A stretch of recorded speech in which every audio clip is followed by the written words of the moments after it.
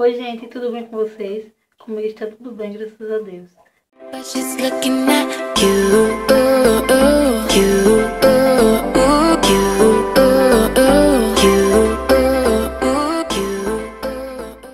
Hoje eu vim aqui falar um pouco sobre o Hair.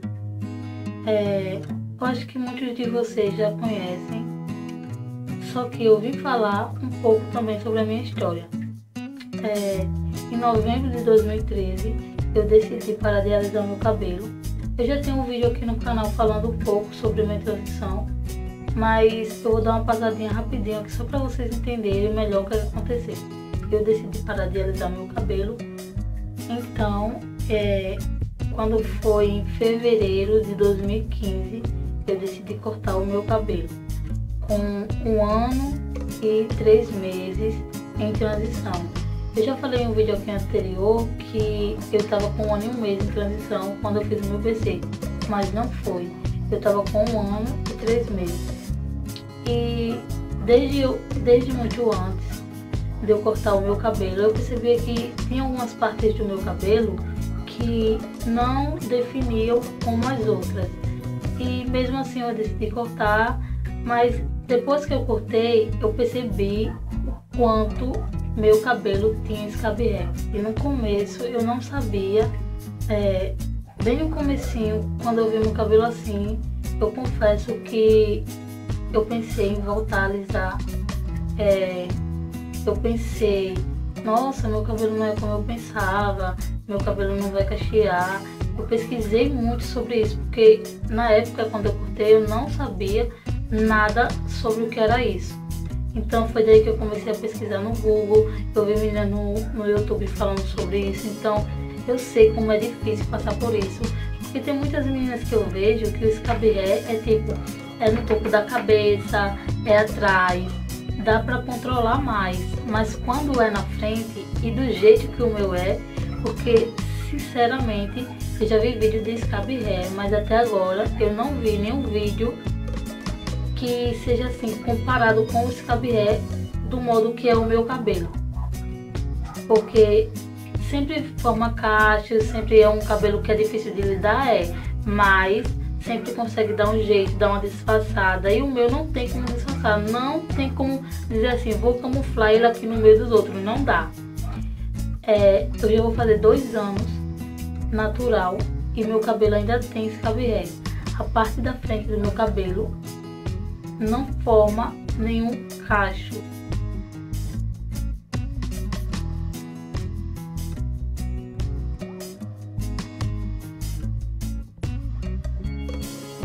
É um cabelo muito ressecado, muito ressecado. E aqui desse lado já forma cacho, desse lado aqui também já forma. Atrás já tem os cinco dedos de raiz natural e os cabelos já estão na ponta mas a parte da frente, aqui a parte da frente, não cacheia de jeito nenhum. Já vou fazer dois anos de cabelo natural e ainda eu tenho muito scab hair. Eu decidi vir falar um pouco hoje sobre isso, porque assim como eu, que já procurei muito sobre isso, eu sei que tem muitas meninas que estão passando pela mesma situação que eu e talvez fique até pensando em voltar a alisar o cabelo, ou será que meu cabelo vai cachear de novo? E sim, gente, vai cachear, porque o meu demorou muito para poder. Antes não tinha nenhum cacho, nenhum. Daqui aqui não tinha nenhum cacho. Era só cabelo ressecado e danificado sem nenhum cacho. Quando foi mais ou menos com um ano de BC, é, foi, foi que começou a aparecer alguns cachos foi aí que começou a aparecer do lado direito. O esquerdo, muito pouco. O lado esquerdo da minha cabeça, ele é muito menos definido do que o lado direito. Então o lado direito apareceu primeiro. Mas a frente ainda continua sem nenhum cacho, sem nenhum. É, agora que tá tendo um, eu acho que tem um centímetro de raiz que tá um pouco ondulada, não tá cacheada, tá ondulada só um centímetro. E eu já pensei, será que meu cabelo vai cachear? E eu sei que vai, só que todos os posts ou vídeos de meninas, de meninas que eu vi falam que duram, pode durar meses ou até dois anos. Mas será que só pode durar até dois anos? Bom, eu já vou fazer dois anos e vou fazer dois anos agora, fevereiro de 2017, e meu cabelo na frente ainda não forma nenhum cacho. É, eu sei que meu cabelo vai voltar e eu sei que é esse cabelo, porque meu cabelo não era assim. Eu não tenho foto de eu pequena com cabelo cacheado, mas eu me recordo que meu cabelo era todo cacheado, por completo. Não era assim como ele é hoje, entendeu? Então eu sei que ele vai voltar a cachear. É, agora vamos falar um pouquinho sobre o que é o scab para vocês entenderem melhor. Scab hair nada mais é do que aquele cabelo que nasce logo em seguida de você ter feito o BC é, ele vem nascendo e quando você corta, aí é que você percebe como ele não forma caixa, que foi o meu caso. Escabiré é esse cabelo. O que acontece, gente?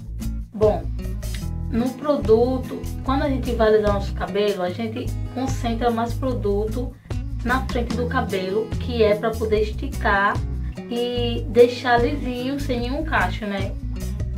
A gente não vai querer o produto manda deixar um centímetro de raiz, mas nem todo mundo deixa. Então, o produto em contato com o couro cabeludo danifica os folículos capilar e faz com que seu cabelo já nasça naturalmente danificado. Com o tempo, esses folículos se recuperam e seu cabelo volta a ser cacheado de novo. Sim, gente, vai cachear. Como é esse cabelo? Bom, gente, é um cabelo muito seco, muito seco. Não importa o que você faça não importa se você faça uma equitação, não importa se você faça hidratação, não importa nada, vai ser um cabelo ressecado que não vai absorver o tratamento. Você pode usar a melhor máscara do mundo para o seu cabelo, não vai absorver.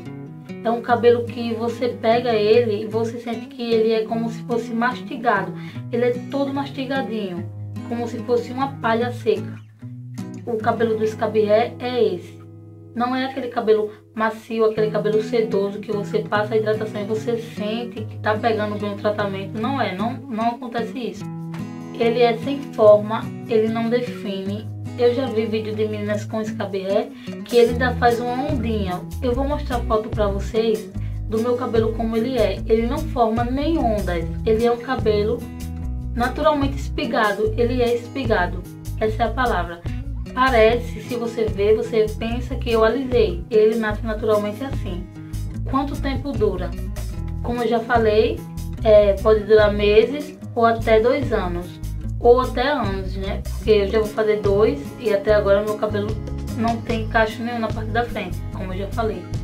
Então, eu acho que não tem um tempo certo para durar.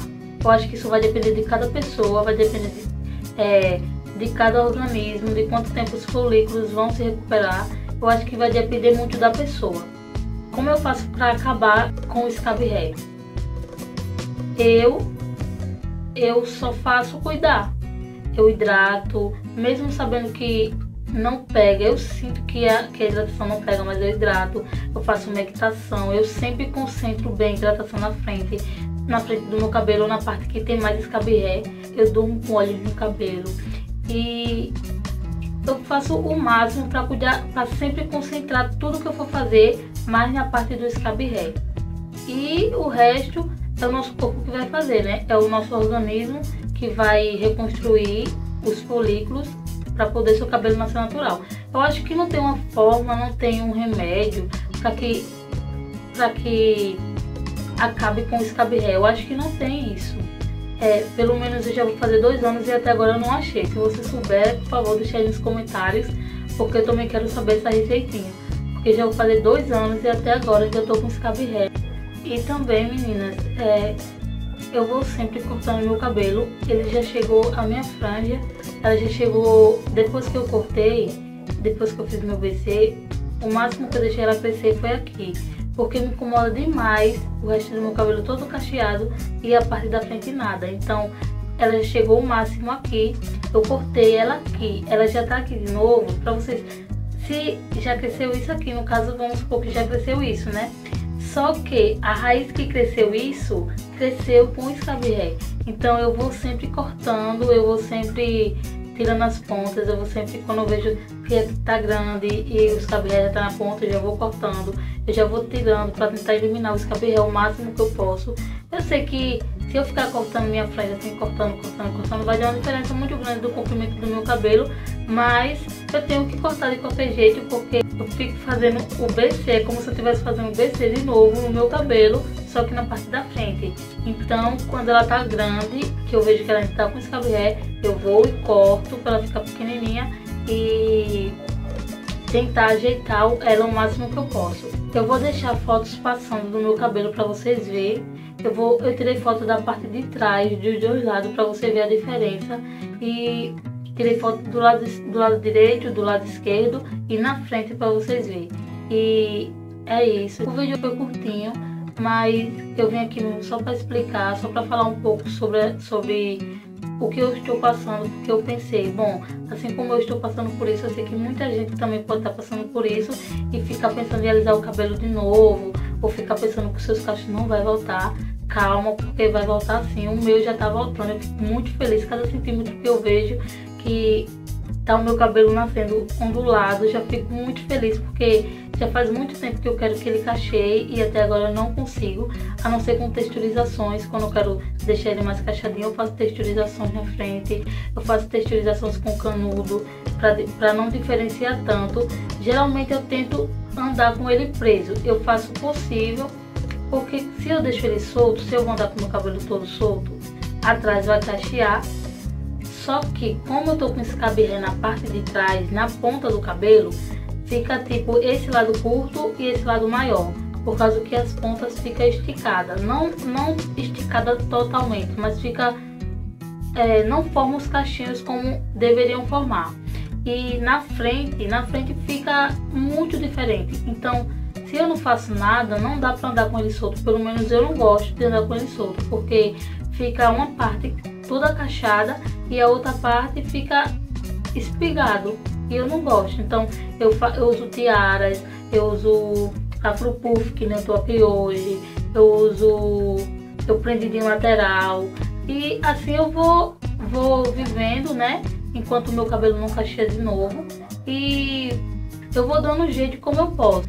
Então, gente, não desistam da transição não desistam de fazer o BC por causa disso.